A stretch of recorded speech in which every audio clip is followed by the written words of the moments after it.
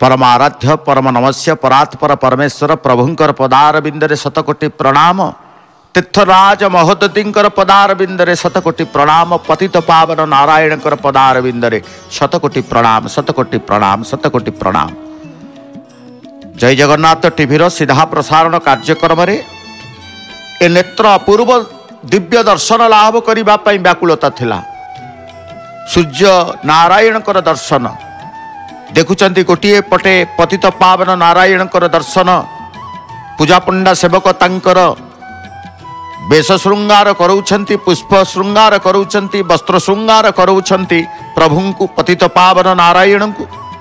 ଏବଂ ଅନ୍ୟ ପାର୍ଶ୍ୱରେ ଦେଖୁଛନ୍ତି ତୀର୍ଥରାଜ ମହୋଦଧିରେ ସୂର୍ଯ୍ୟ ନାରାୟଣଙ୍କର ଆଗମନର ଦୃଶ୍ୟ ଉଦିତ ସୂର୍ଯ୍ୟଙ୍କୁ ଦର୍ଶନ କରିବା।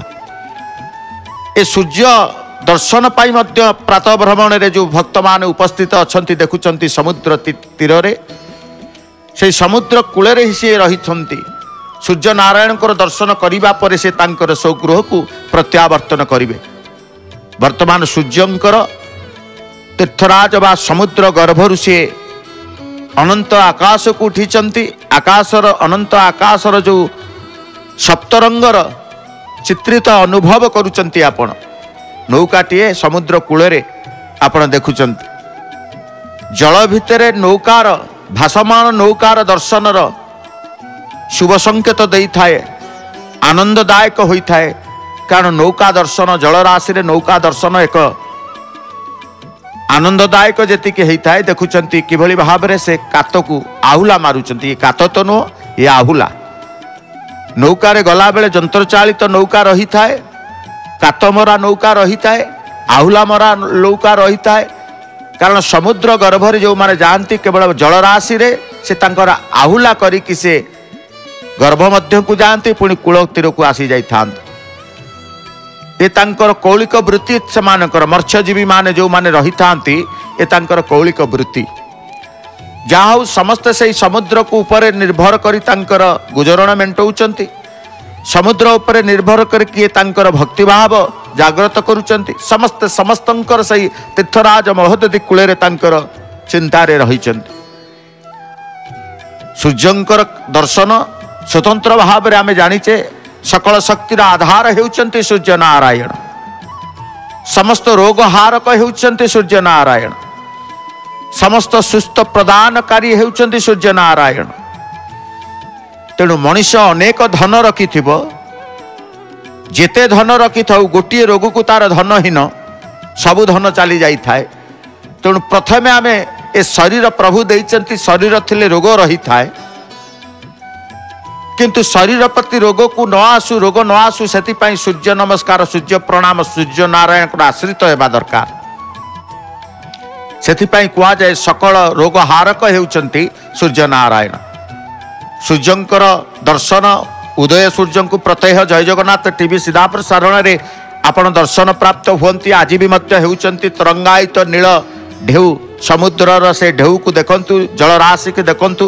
କେତେ ପବିତ୍ର ଇଏ ଜଳରାଶି। ଯେଉଁ ଜଳର ସିଞ୍ଚନରେ ସକଳ ତୀର୍ଥର ପୁଣ୍ୟତା ମିଳିଥାଏ। ସ୍ନାନ କରିବା ଦୂରେ ଥାଉ। ସକଳ ତୀର୍ଥ ସ୍ନାନର ପୁଣ୍ୟତା ମିଳିଥାଏ। ଆଗବର ହେଉଛନ୍ତି ସ୍ନାନ କରିବା ପାଇଁ ସମୁଦ୍ର ଜଳରାଶିରେ ସମୁଦ୍ରରେ ସ୍ନାନ ପୂର୍ବରୁ ସମୁଦ୍ରରେ ଯିବା ପୂର୍ବରୁ ବିଧାନ ରହିଛି ଯେ ଉଗ୍ରସେନଙ୍କର ଦର୍ଶନ ପରେ ଆପଣ ସମୁଦ୍ରକୁ ଯାଇଥାନ୍ତି ତୀର୍ଥରାଜ ମହୋଦଧିକୁ ଯେମିତି ମହାପ୍ରଭୁଙ୍କର ପତିତ ପାବନଙ୍କର ଦର୍ଶନ ପରେ ବାଇଶ ପାବଚର ଭକ୍ତମାନେ ଯାଉଛନ୍ତି ଅରୁଣ ସ୍ତମ୍ଭକୁ ସ୍ପର୍ଶ କରି ପ୍ରଭୁଙ୍କ ଦର୍ଶନରେ ଯାଇଥାନ୍ତି ସେଇଭଳି ଭାବରେ। ତୀର୍ଥରାଜ ମହୋଦଧିକି ଆସିବା ପୂର୍ବରୁ ନିଶ୍ଚିତ ଭାବରେ ଉଗ୍ରସେନଙ୍କୁ ଭୃଗୁ ଆଶ୍ରମରେ ଉପାସିତ ଉଗ୍ରସେନଙ୍କୁ ଦର୍ଶନ କରିବା ବିଧାନ ରହିଥାଏ ସୂର୍ଯ୍ୟ ହେଉଛନ୍ତି ସକଳ ଶକ୍ତିର ଆଧାର ବୋଲି ଆମେ କହିଛେ। ପ୍ରତ୍ୟେକ ଶସ୍ୟ ଠାରୁ ଆରମ୍ଭ କରି ସୃଷ୍ଟିର ସୃଷ୍ଟିଚକ୍ରରେ ସୂର୍ଯ୍ୟଙ୍କର ଉପସ୍ଥିତି ମଧ୍ୟ ଅନିର୍ବାର୍ଯ୍ୟ ତାହା ନିଶ୍ଚିତ ସମସ୍ତେ ଅନୁଭବ କରିଛନ୍ତି ସୂର୍ଯ୍ୟଙ୍କର ଉପସ୍ଥିତି ସମସ୍ତେ ଅନୁଭବ କରନ୍ତି।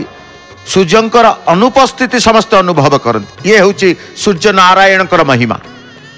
ସୂର୍ଯ୍ୟଙ୍କର ପ୍ରଖରତାକୁ ସମସ୍ତେ ଅନୁଭବ କରିବେ।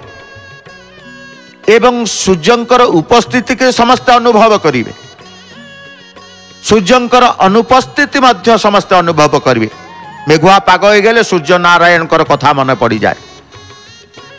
ତେଣୁ ପାଗକୁ ସନ୍ତୁଳିତ କରିବା ଧରାପୃଷ୍ଠକୁ ସନ୍ତୁଳିତ ସମନ୍ୱୟ ରକ୍ଷା କରିବା ସୂର୍ଯ୍ୟ ନାରାୟଣଙ୍କର ଭୂମିକା ମଧ୍ୟ ଅତ୍ୟନ୍ତ ଗୁରୁତ୍ୱ ରହିଥାଏ ସ୍ୱତନ୍ତ୍ର ଭାବରେ ସୂର୍ଯ୍ୟଙ୍କର ଉପାସନା ଆପଣ ଦେଖିବେ ଯେତେବେଳେ ଆସିଯିବ ମାଘ ମାସ ମାଘ ସପ୍ତମୀ ଯେଉଁ ଆସେ ସେ ମାଘ ସପ୍ତମୀ ସ୍ୱତନ୍ତ୍ର ଭାବରେ ସୂର୍ଯ୍ୟଙ୍କର ଉପାସନା ହେଇଥାଏ ଯାହାକୁ ତିଳ ସପ୍ତମୀ ବୋଲି କୁହାଯାଏ ଏବଂ ସୂର୍ଯ୍ୟ ନାରାୟଣଙ୍କର ସ୍ୱତନ୍ତ୍ର ଭାବରେ ଗୋଟିଏ କ୍ଷେତ୍ର ରହିଥାଏ ସୂର୍ଯ୍ୟ କ୍ଷେତ୍ର ଆମେ କାହାକୁ କହିଛେ ନା କୋଣାରକର ପବିତ୍ର ଚନ୍ଦ୍ରଭାଗା ତୀର୍ଥରେ। ଯେଉଁ ପଦ୍ମ କ୍ଷେତ୍ର କହିଛେ ଶଙ୍ଖ ଚକ୍ର ଗଦା ପଦ୍ମ ମହାପ୍ରଭୁଙ୍କର ଇଏ ଶଙ୍ଖ କ୍ଷେତ୍ର ହେଉଛି ପୁରୀ ଧାମ ପୁରୁଷୋତ୍ତମ କ୍ଷେତ୍ର।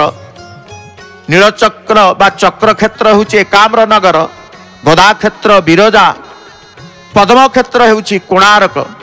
ସେଇ କୋଣାରକକୁ ମଧ୍ୟ ସୂର୍ଯ୍ୟକ୍ଷେତ୍ର ବୋଲି କୁହାଯାଇଥାଏ। କାରଣ ସ୍ୱତନ୍ତ୍ର ଭାବରେ ସୂର୍ଯ୍ୟଙ୍କର ଉପାସନା ସେଇଠାରେ ରହିଥାଏ। ପ୍ରାଚୀନ କାଳରୁ। ପ୍ରାଚୀନ କାଳରୁ କୋଣାର୍କ ସୂର୍ଯ୍ୟକ୍ଷେତ୍ର ରୂପେ ପ୍ରସିଦ୍ଧି ଲାଭ କରିଛି। ଯେତେବେଳେ ଦେଖିବେ ଜମିନୀୟ ଗ୍ରହସୂତ୍ରରେ କାନ୍ତମ ସୂର୍ଯ୍ୟମ କଳିଙ୍ଗେଶୁ।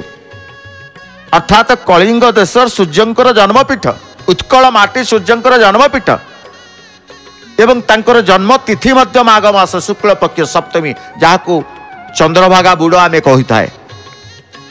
ସେ ସପ୍ତମୀ ଦିନ ସୂର୍ଯ୍ୟଙ୍କର ଦର୍ଶନ ପ୍ରତ୍ୟେକ ସୂର୍ଯ୍ୟଙ୍କର ଦର୍ଶନ ସମସ୍ତେ କରୁଛନ୍ତି। ଆଜି ଦେଖୁଛନ୍ତି ବେଳାଭୂମି ଦେଖନ୍ତୁ। ଯେଉଁ ସ୍ୱର୍ଣ୍ଣାଭ ବାଲୁକା ରାଶି ନୀଳ ଜଳ ରାଶି ତା ସହିତ ସମସ୍ତେ ଅପେକ୍ଷା କରିଛନ୍ତି ବହିରାଗତ ଭକ୍ତମାନେ ଅଛନ୍ତି ସେମାନେ ସେହି ସମୁଦ୍ରର ଆନନ୍ଦକୁ ଉପଭୋଗ କରିବା ସହିତ ସୂର୍ଯ୍ୟ ନାରାୟଣଙ୍କର ଉଦୟକୁ ଦର୍ଶନ କରିବା ପାଇଁ ଅପେକ୍ଷା କରିଛନ୍ତି। ଯେହେତୁ କୁହୁଡ଼ିର ଦିନ ଇଏ ଶୀତ ଦିନ ସୂର୍ଯ୍ୟ ସମୁଦ୍ର ଗର୍ଭରୁ ବାହାରି ଉଦୟ ହେଇସାରିଛନ୍ତି। ଅନନ୍ତ ଆକାଶରେ ଦୃଶ୍ୟମାନ ହେବା ପାଇଁ ଆମକୁ ଅପେକ୍ଷା କରିବାକୁ ପଡ଼େ। ଯେତେବେଳେ ଗ୍ରୀଷ୍ମ ଦିନ ଆସେ ଅର୍ଦ୍ଧେକ ସୂର୍ଯ୍ୟ ଜଳ ଭିତରେ ଥିବେ ଅର୍ଦ୍ଧେକ ଅନନ୍ତ ଆକାଶକୁ ସ୍ପର୍ଶ କରିଥିବେ। ସତେ ଯେମିତି ମୁଣ୍ଡ ଟେକିକି ସେ ସମୁଦ୍ର ଗର୍ଭରୁ ସୂର୍ଯ୍ୟ ନାରାୟଣ ଆସୁଛନ୍ତି ସେ ଅନୁଭବ କରିବେ ମଧ୍ୟ।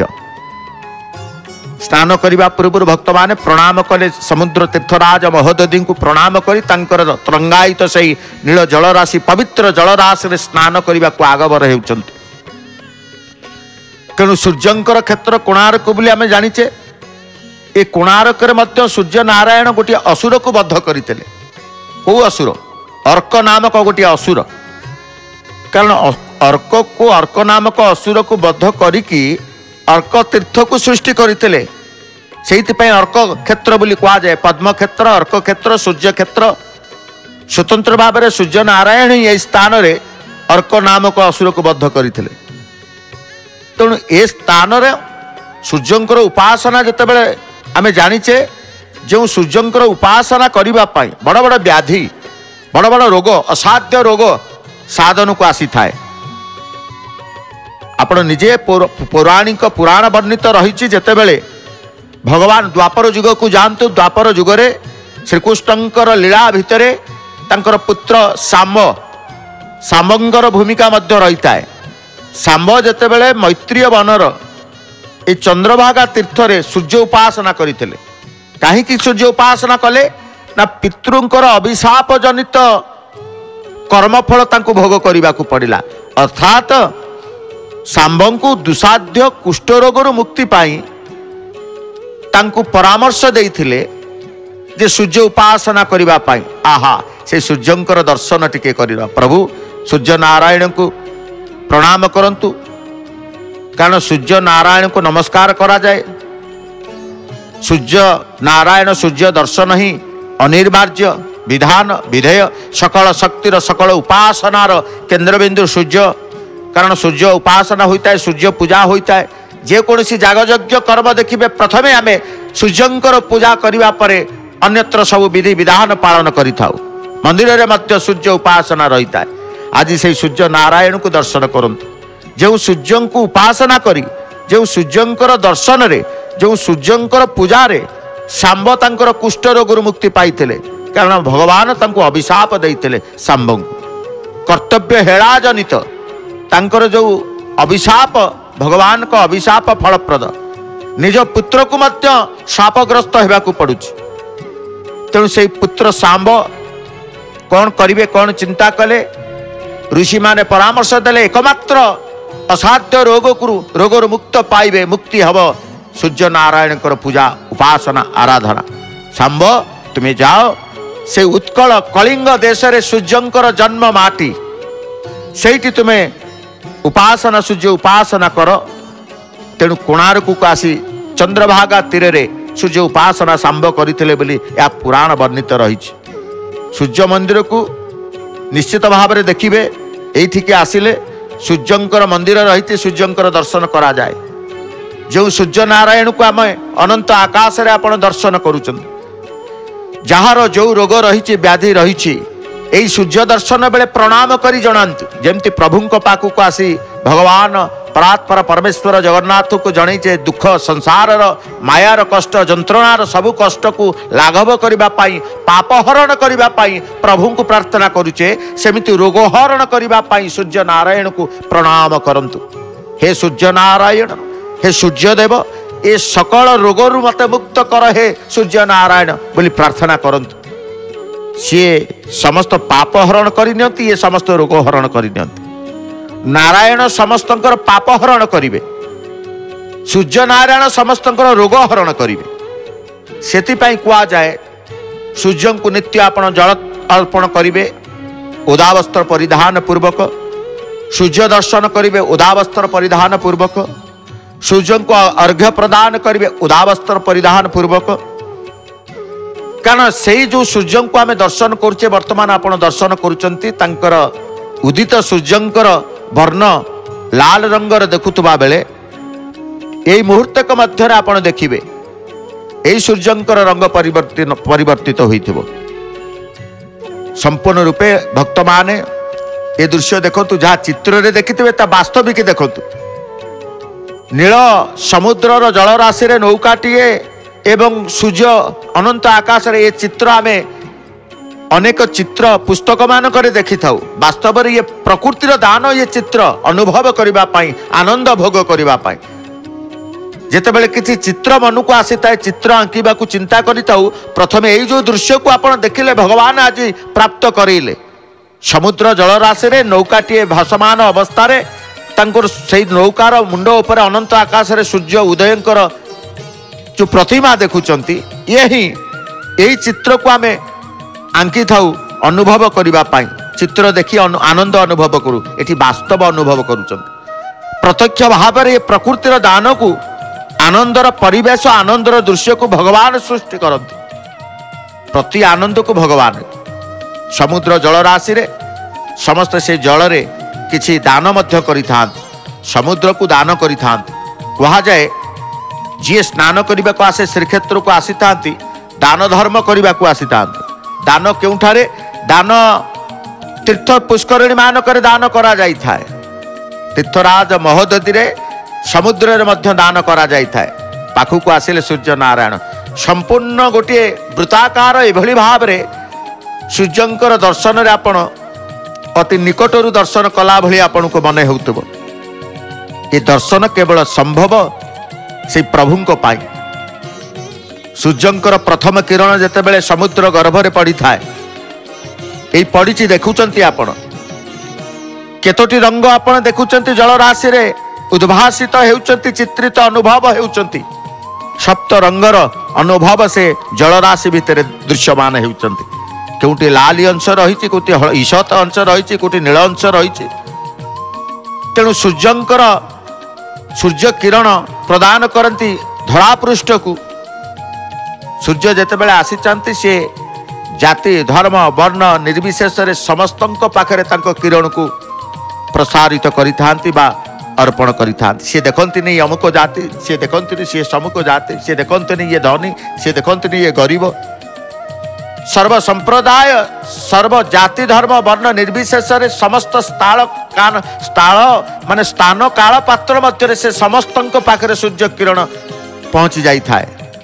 ଏବଂ ସୂର୍ଯ୍ୟ କିରଣର ଯେଉଁ ପ୍ରଥମ କିରଣର ଯେଉଁ ଶରୀର ପାଇଁ ଯାହା ଉପାଦେୟ ତାହା ମଧ୍ୟ ବୈଦିକ ବା ଶାସ୍ତ୍ରରେ ବର୍ଣ୍ଣିତ ରହିଛି।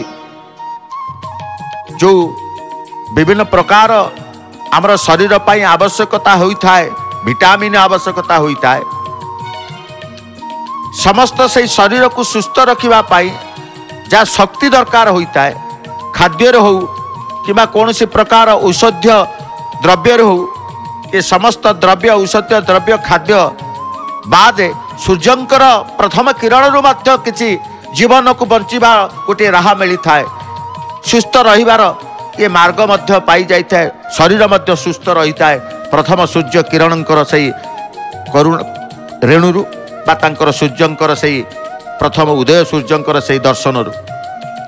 ଧୀରେ ଧୀରେ ଧୀରେ ଧୀରେ ଆମେ ସୂର୍ଯ୍ୟ ନାରାୟଣଙ୍କର ଦର୍ଶନ ସହିତ ପତିତ ପାବନ ଦେବଙ୍କର ଏପଟେ ବେଶ ଶୃଙ୍ଗାର ଆପାତତଃ ସମ୍ପୂର୍ଣ୍ଣ ଅନ୍ତିମ ପର୍ଯ୍ୟାୟରେ ପହଞ୍ଚି ସାରିଲାଣି। ପ୍ରଣାମ କରୁଛନ୍ତି ପୂଜା ପଣ୍ଡା ପଦାର ବିନ୍ଦରେ ପ୍ରଣାମ କଲେ ସିଂହାସନରୁ ଗୁମୁଟ ଭିତରୁ ଓହ୍ଲେଇ ଆସିଲେ।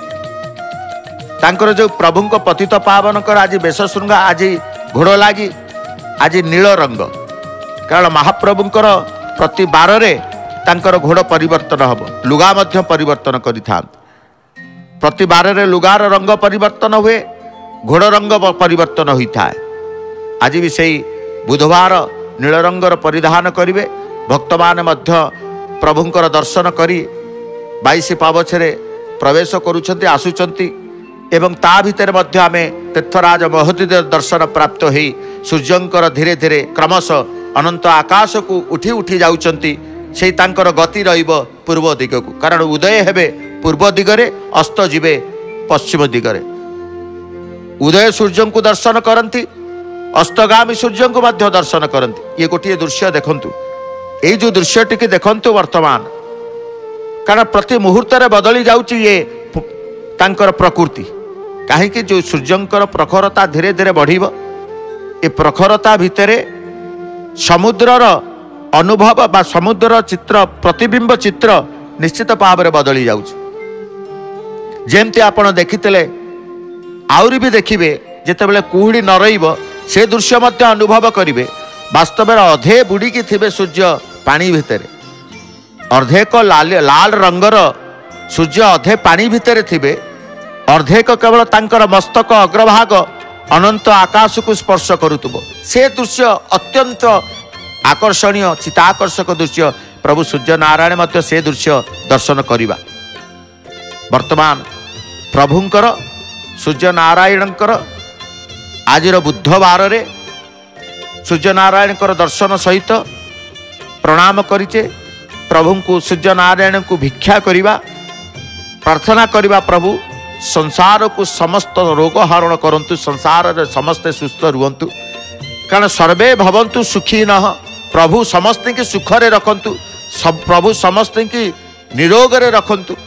କାରଣ ନିରୋଗ ହିଁ ଏକମାତ୍ର ଔଷଧ ଯେ ନିରୋଗ ରହିଲେ ଆମେ ସବୁ କରିପାରିବା। ରୋଗ ରୋଗାଗ୍ରସ୍ତ ହେଇଗଲେ ରୋଗଗ୍ରସ୍ତ ହେଇଗଲେ ରୋଗାକ୍ରାନ୍ତ ହେଇଗଲେ ଶରୀର ଅସୁସ୍ଥ ହେଇଗଲେ ନା ଦାନ କରିପାରିବା ନା ଧର୍ମ କରିପାରିବା ନା ଦର୍ଶନ କରିପାରିବା ନା କିଛି ଜୀବନ ଚକ୍ରକୁ ଆଗକୁ ନେଇପାରିବା।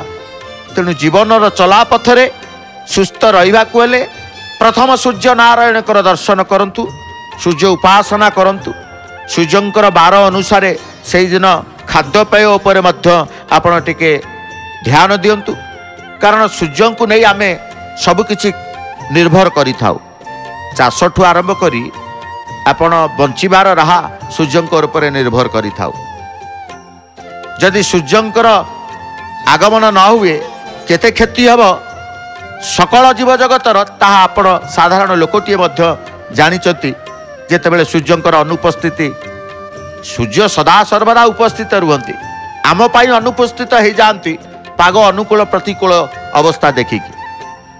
ତେଣୁ ସମ୍ପୂର୍ଣ୍ଣ ରୂପେ ଆଜି ସମୁଦ୍ରରେ ଲହଡ଼ି ଉଗ୍ର ରୂପ ଧାରଣ କରିନାହାନ୍ତି। ଶାନ୍ତ ଭାବରେ ତୀର୍ଥରାଜ ମହୋଦଧିର ଜଳରାଶିକି ଆମେ ଦର୍ଶନ କରୁଛେ। ଯେଉଁ ସମୁଦ୍ର ଗର୍ଭକୁ ଦର୍ଶନ କରିଦେଲେ ସମୁଦ୍ର ଜଳରାଶିରେ ସମସ୍ତ ପାପ ଧୋଇ ହେଇଯାଏ। ଦର୍ଶନରେ ମଧ୍ୟ ପାପ ଧୋଇ ହେଇଯାଏ।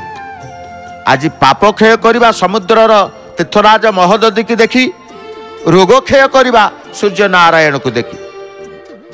ତେଣୁ ପୁଣ୍ୟ ଅର୍ଜନ କରିବା ପୁଣ୍ୟ ସହିତ ଧର୍ମ ଅର୍ଜନ କରିବା ଧର୍ମ ସହିତ ଭକ୍ତିଭାବ ଅର୍ଜନ କରିବା କେବଳ ଏଇ ବ୍ରାହ୍ମ ମୁହୂର୍ତ୍ତରେ ହେଇଥାଏ।